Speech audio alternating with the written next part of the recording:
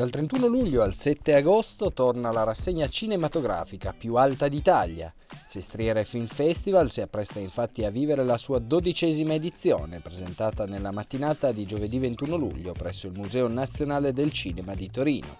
Un intenso programma, come sempre dedicato al cinema di montagna, è arricchito da diverse iniziative collaterali come attività escursionistiche guidate o il concerto finale Not Only Jazz in Quota presso il rifugio Alpette che fanno del festival, una manifestazione unica nel suo genere e un patrimonio per il territorio. Significa dare attraverso questo evento un'immagine anche culturale mantenendo fede a quelle che sono le tradizioni della montagna, portando sullo schermo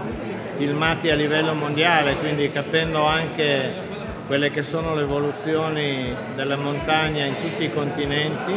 attraverso queste pellicole e soprattutto anche creando dei presupposti turistici che sono importanti perché raccolgono in quelle serate gli appassionati che provengono dalle due valli e anche da Torino. Il Sestria Film Festival si caratterizza per la tipologia dei film che giungono al concorso che sono legati principalmente al grande alpinismo e alle tre alte del mondo. Festival sostiene l'attenzione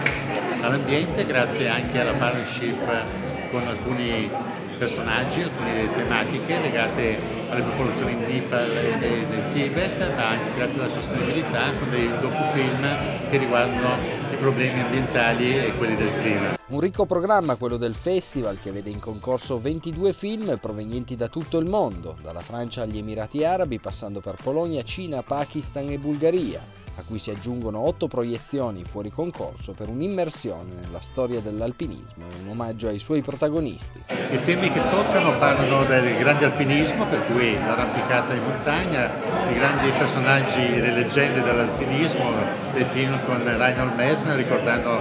anche eh, Walter Bonatti, ma soprattutto una panoramica su quelle che sono le montagne di tutto il mondo. In modo particolare si, si parla di paesaggi, di popolazioni, di attenzione all'ambiente, degli spopolamenti dei paesi, per cui veramente un taglio particolare su quello che è oggi la montagna da un punto di vista ambientale, culturale e soprattutto di attenzione a quello che è il mondo climatico. La presentazione del festival è stata anche l'occasione per la firma di un protocollo di collaborazione tra Comune di Sestriere e Museo Nazionale del Cinema, finalizzato a dare corpo a quel dialogo tra città e montagna che troppo spesso rimane un proposito senza segui. Ah, io ci credo e siamo veramente felici di essere i promotori di questa, di questa iniziativa perché credo che abbiamo delle potenzialità uniche se lavoriamo insieme, la città con la montagna Torino con Sestriere in questo caso e dobbiamo sfruttarle, sfruttarle sul mercato internazionale, con i tour operator internazionali perché io credo che abbiamo tutte le potenzialità sia a livello logistico, organizzativo per fare bene, dobbiamo solo lavorare uniti e riproporre lo slogan vincente delle Olimpiadi di Torino 2006 quando Torino ha lavorato in connessione con la montagna e siamo stati vincenti.